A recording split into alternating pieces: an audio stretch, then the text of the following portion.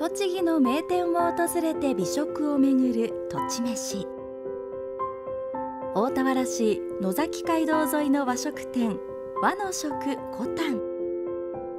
白を基調とした明るい客室。その中央にある吹き抜けには立ち室。老舗割烹で経験を積んだ店主が作る懐石料理は一品一品丁寧に作った彩り豊かなものばかり。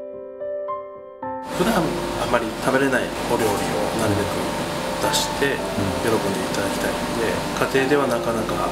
手に入らない食材だったり、まあ、あの調理技法でだったりっていうのをちょっと感じていただきたいですね。普段あまり食べられない高級食材のどぐろ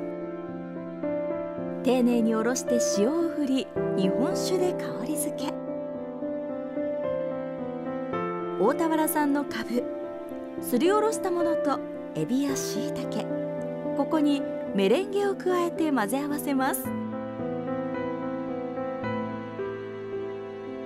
のどぐろの上にたっぷりと乗せて蒸し器の中へ。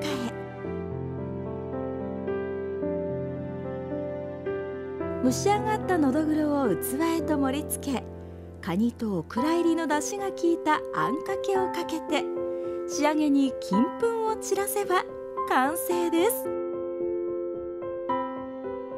のどぐろの柔らかい身をかぶがふんわり包むのどぐろのかぶら蒸し